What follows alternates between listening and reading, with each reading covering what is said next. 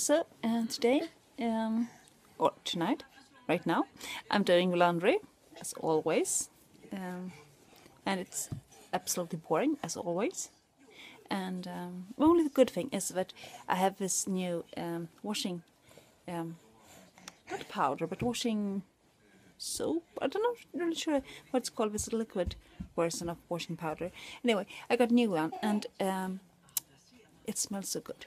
So everything s- smells wonderful when you touch it, and that's a good thing.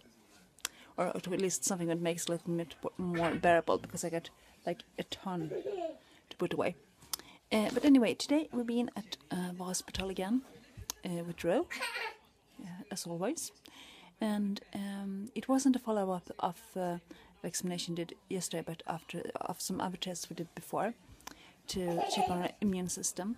And um, most likely, uh, problems she has with his immune system are, as we thought, that his uh, immune system is a bit immature, uh, as it can be if you are uh, born premature and if you've been under a lot of stress during pregnancy. And that fits both for both, uh, for Roo, and also problems with the stomach, uh, which also adds up to this problem with the immune system. So, yeah, everything is linked together, and um, I'm pretty tired of this now too. But it has to be so much. It has, you know, it's always something. But we're to take. She's to take some more taste tests to make sure and uh, follow follow it up. Yeah, now she comes with one of her books. Give you have your book, my favorite, on the other hand. Wait, this one. she loves books. Uh, but anyway, um, yeah, we're gonna read it. Yeah, zone, zone. You're gonna look at. it. She says, "Titta." It means look. It's gonna look in that. We can look in the camera instead. Yeah, it's true. Yeah. Uh, anyway, um, uh, we also took uh, some tests for diabetes before, and it was negative.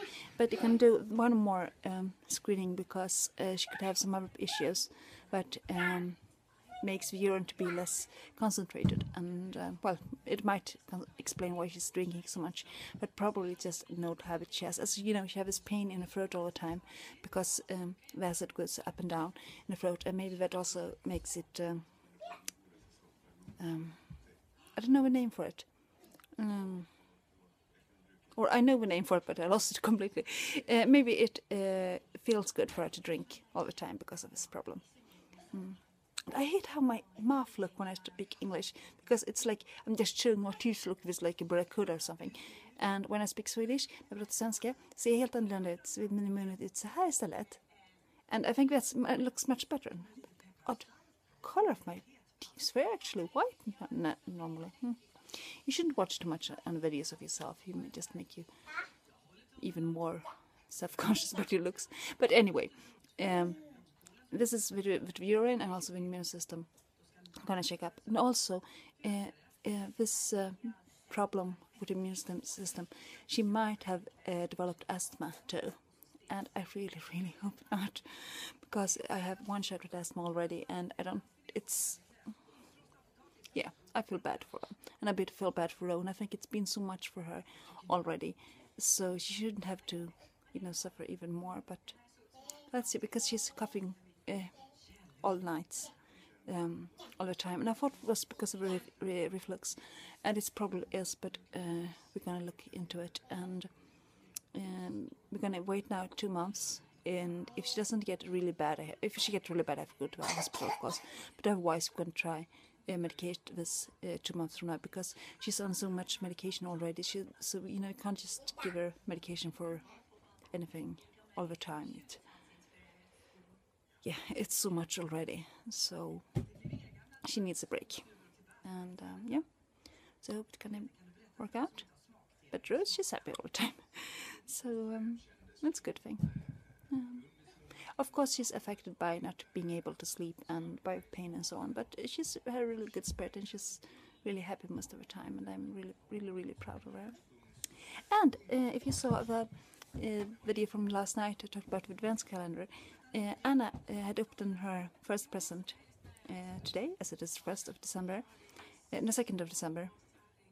No, first of December, and she sent a picture of it to me this morning with "Thank you, mommy, for the present," and I was like, "Mm."